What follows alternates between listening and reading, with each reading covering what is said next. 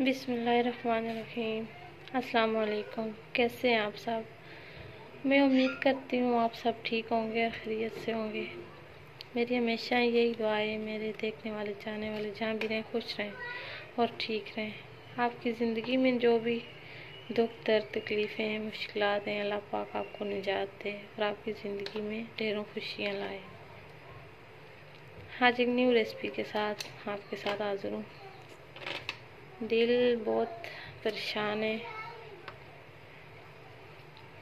वो तो आपको सभी को, हर किसी को पता ही है कि पूरी कौम इस टाइम में मतलब सोगवार में आप सबसे गुजारिश है कि सब अपने कौम के जो हीरो हैं, मोहम्मद अली सतपारा, उनके लिए दुआ करें। उनकी कोई खैरियत की खबर आ जाए। क्या पता ये मेरी वीडियो कब अपलोड होगी? अगर जल्दी अपलोड होगी तो प्लीज़ सब उनके लिए दुआ करें। उनकी कोई अच्छी खबर आ जाए। बहुत ही दिल उदास है जब से पता चला है, क्योंकि वो हमारी पहचान है, हमारी मुल्क के हीरो हैं। कोई भी हो, इंसान है यार, इंसान के लिए बंदे को दुख होते हैं, लेकिन ये तो बहुत ही अफसोस की बात होती है, ऐसे कोई भी मामला हो जाए। तो अल्लाह पाक उनको तो ईमान में रखे और अल्लाह पाक उनकी अफियत करे। तो मैं आज की वीडियो शुरू करती हूँ। आज वीडियो में आपके लिए रेसिपी लेके आई हूँ, बेसन की बर्फ़ी। प्लीज़ आपसे गुजारिश है, वीडियो पूरी देख लिया करें। अगर पूरी ना भी देखें तो आधी देख लिया करें। बिल्कुल ही वाश टाइम नहीं होता। अगर कोई बंदे को थोड़ा सा भी वाश टाइम मिल जाते हैं, आपको अंदाज़ा नहीं कि उसकी कितनी खुशी होती है उसको। तो बिल्कुल ही ना होने के बराबर होता है। तो प्लीज़ वीडियो पूरी देख लिया करें।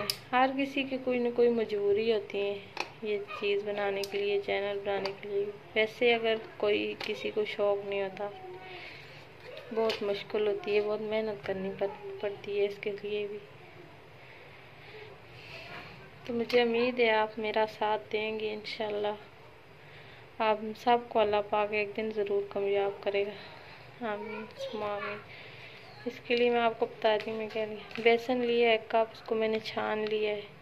छानने से ये होता है, इसके अंदर जो गुठलियाँ होती हैं वो निकल जाती हैं। एक कप मैंने चीनी लिए थोड़ा सा फ़ूड कलर लिए, आप चाहें तो लें, नहीं तो ले। घी लिए, छुआरा और पिस्ता, बादाम लिए, एक गिलास पानी लिए। यहाँ पे मैंने पैन रख लिया बेसन डालती हूँ उसके अंदर। इसमें हल्का सा इसको भून हूँ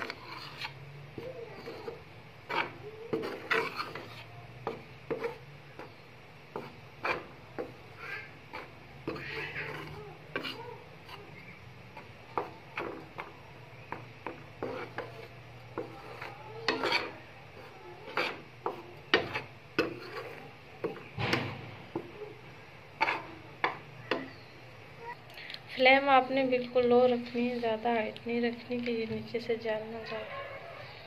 अभी हम साथ में जो इसकी चाशनी है, वो भी तैयार कर लेते हैं।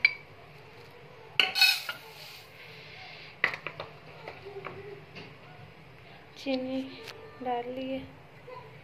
पानी डालते हैं गिलास इसको भी रख लेते हैं साथ। बेसर हमारा भून चुका है, बहुत ही अच्छी खुशबू आ रही है। घी ऐड करते हैं। पहले आप थोड़ा ऐड कर लें, फिर काम हो तो साथ और भी ऐड कर लें। घी डाल के इसके साथ इसको भून लें। ये देखें, इस तरह से हो गए लेकिन अभी ये तैयार नहीं हुआ। अभी मज़ीद इसको करेंगे मैं साथ साथ आपको दिखाती रहूँगी।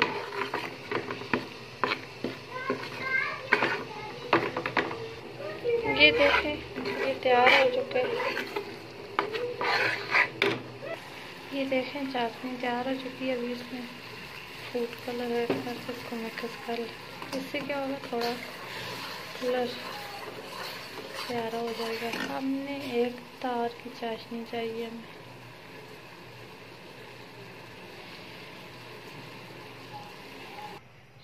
चाशनी हमारी तैयार हो चुकी है, अभी हम इसके अंदर डालते हैं।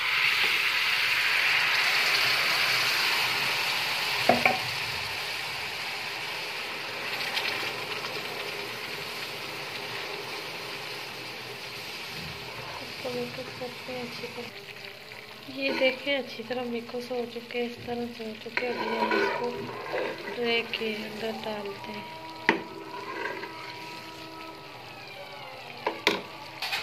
मैंने ये ट्रे ली है, इसको मैंने ऑयल के साथ ग्रीस कर लिया है। आप छोटी भी ले सकते हैं। इसके अंदर मैं डाल रही हूँ अभी। इसको मैंने ट्रे के अंदर डाल दिया अभी मैं इसके ऊपर ड्राई फ्रूट डाल रही हूँ।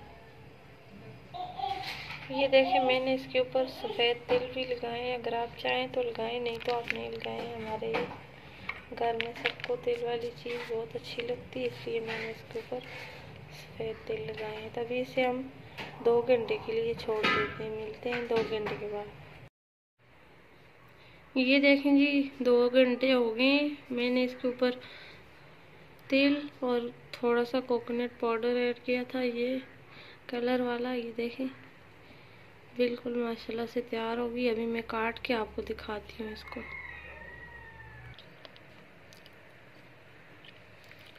ये मैंने काट ली है, अभी मैं निकाल के आपको दिखा रही हूँ कितनी मज़े की बनी है।